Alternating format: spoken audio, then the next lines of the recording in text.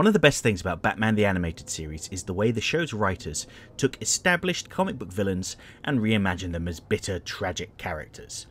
Arguably, the best example of this is Mr. Freeze, a campy, cold themed thief in the comic books that was reimagined as a tragic, heartbroken figure out for revenge. The BTAS version of Mr. Freeze was so popular that this origin became Freeze's default origin across pretty much all media. The BTAS follow up show, The New Batman Adventures, continued in this tradition and mined Batman's back catalogue of unused villains with some bold new takes. We have The Tragedy of Annie, their version of the fourth Clayface Lady Clay, and Calendar Girl, a cross between the one and done villain the Mannequin and Calendar Man. I have to think that the writers of the Batman comics at the time saw what was being done in BTAS and challenged themselves to do the same exercise with some lesser known villains, particularly writer Chuck Dixon, who was very clearly fond of BTAS.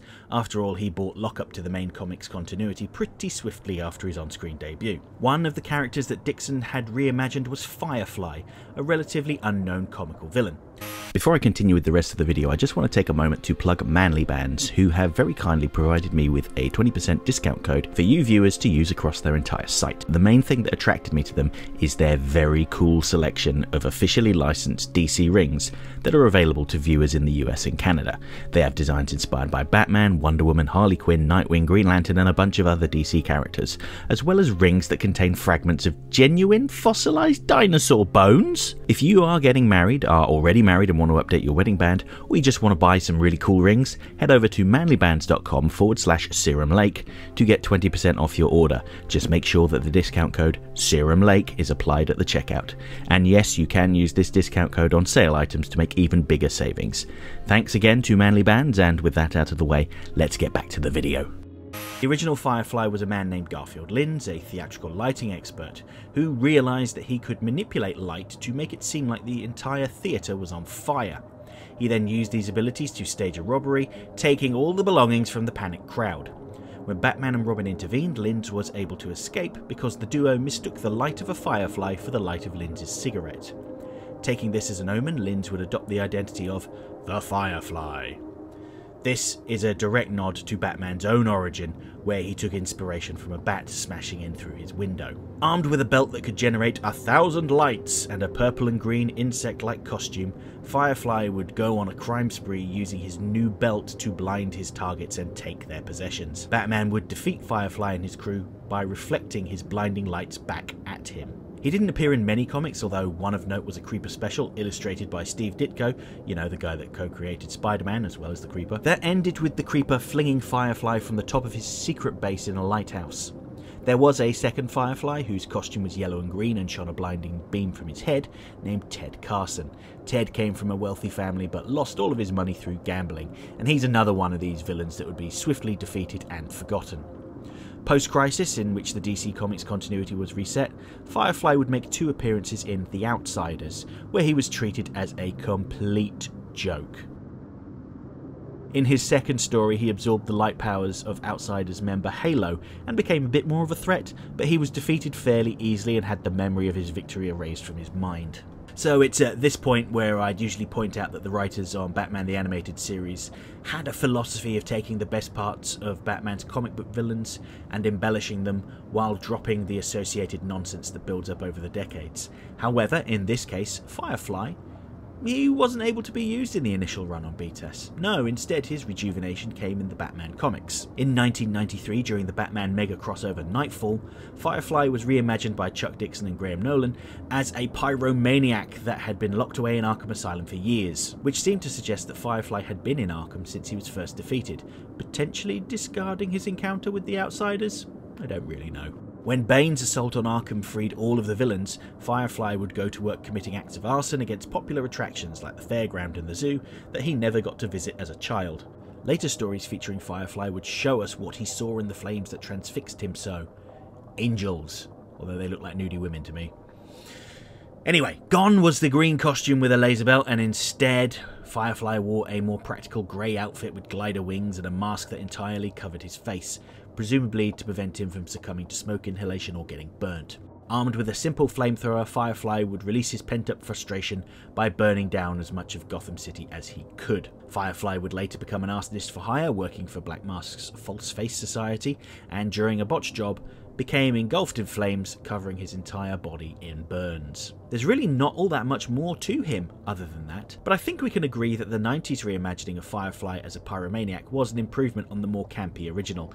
Firefly, the joke character, was a bit too similar to Killer Moth for my liking. When it comes to Batman the Animated Series, Firefly did not feature in the show because the censors over at Fox Kids were not comfortable having fire themed villains. Fire is too dangerous for children! And if you're interested in what else these censors at Fox forbade being used, check out my video about how censorship had actually improved Batman the Animated Series. But by the time of the new Batman adventures, the show had moved to Warner Brothers Kids, a completely different network with less strict rules. This is why we could have a child Robin. Villains could use more modern looking firearms, and Batman could be seen punching his enemies directly in the face. With these new rules, the writers on TNBA were able to play around with the tone of the stories a bit more.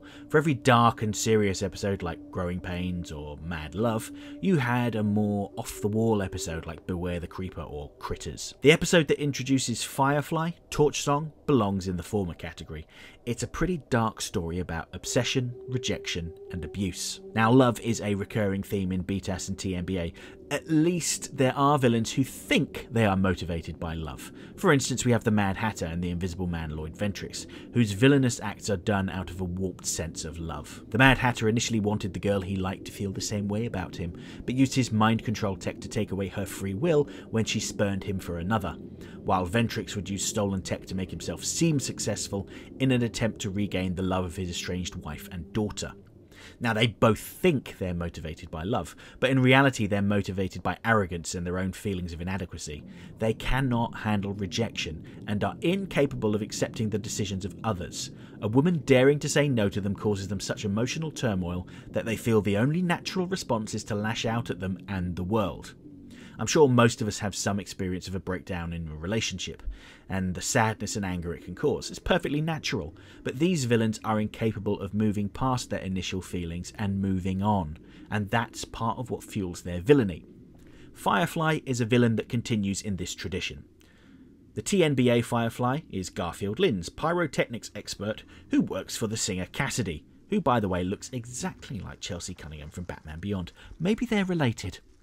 When we first meet Lynns, he's lurking in the shadows and has an argument with Cassidy, his now very obviously ex girlfriend.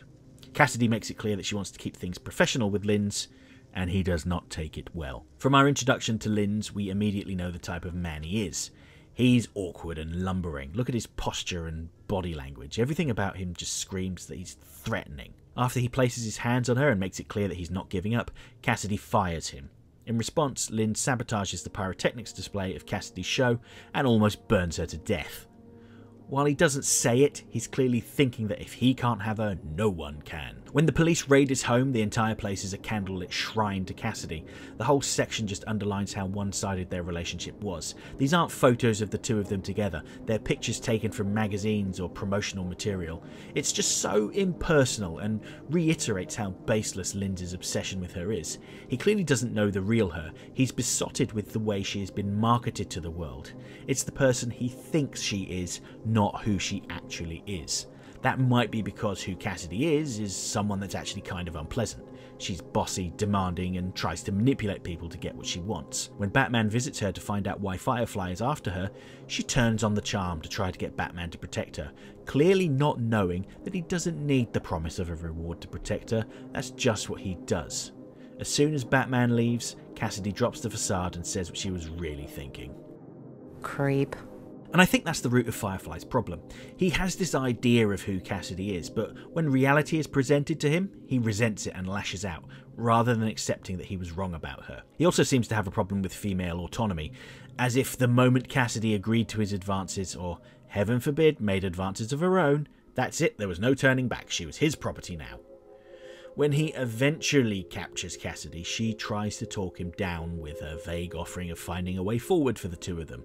Now, that's not a lie, but it is entirely open to interpretation. Firefly could interpret that as them getting back together, but for Cassidy, a way forward could simply be running away.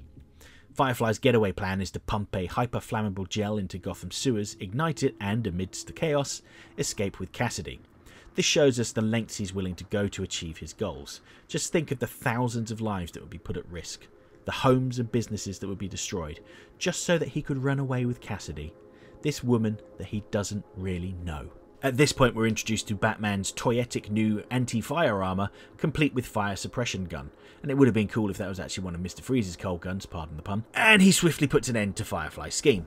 Towards the end of the episode, there's some not at all subtle imagery of Firefly trying to escape from the burning factory, only to be dragged down through the flames by a tumbling sign in the shape of a demonic face, almost as if he was being dragged to hell by the devil himself. Firefly may have been captured, but the damage he did to Cassidy would be lasting.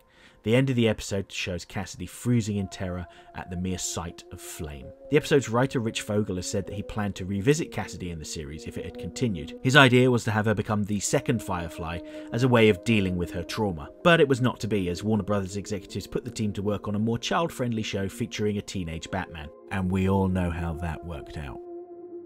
Firefly would only appear two other times, one brief appearance as an arsonist for hire in TNBA's anthology episode Legends of the Dark Knight, again demonstrating a complete lack of regard for human life. He leaves the three children in the burning theatre before Batman turns up to save the day. He would also briefly appear in the Justice League episode Only a Dream Part 1. Following a prison break, Firefly teams up with fellow escapee, the pyrokinetic Volcana, his ideal woman clearly, but they are swiftly recaptured by the Justice League. And that's it for Firefly in the cartoons one significant introductory episode, and a handful of cameos. Much like his comic book counterpart, he has a solid gimmick, but there are only so many stories you can tell featuring him without retreading old ground. Now, in the DCAU, it's not unheard of for significant stories to take place in the tie in comics, but that's not the case with Firefly. He would be seen as a member of Black Mask's False Face Society in Batman Adventures Volume 2, performing acts of arson for Black Mask. However, he would be easily defeated by Batman. In Batman The Adventures Continue, it's said that Firefly was caught in a devastating fire that almost killed him and had to recuperate with the snake worshipping cult Kobra. We are told that this is the motivation for Firefly's new, more extreme costume. Now, it would transpire that this was an imposter posing as Firefly in order to manipulate Batman and Robin. Deathstroke's sidekick Sunny was the person in the new enhanced costume, but let's not get into that now because that's an entirely separate can of worms. Although I do appreciate the nod towards Rich Fogel's original idea of a second female Firefly being revisited. Both of these scenarios, Firefly working with Black Mask and getting severely burned while on the job, are directly taken from the mainline comics there haven't really been any particularly interesting developments for the character at all. Even Torchsong went over familiar ground, so it's probably not too surprising to see that he wasn't used very much. Firefly's motivations are pretty straightforward, but the whole stalker angle never really resurfaces. I think he works best as muscle for hire rather than a primary villain, and that's completely okay. Not every villain has to be a psychologically fascinating recurring character. There is room for more general one and done villains. Having said that, he is a rare example of a goofy character that went through a drastic reinventions in the comic books first, before making his way to the cartoons. From there, the TNBA crew picked up the ball and added an additional layer in attempt to make a fairly one-note villain more well-rounded, even if it was just for one episode.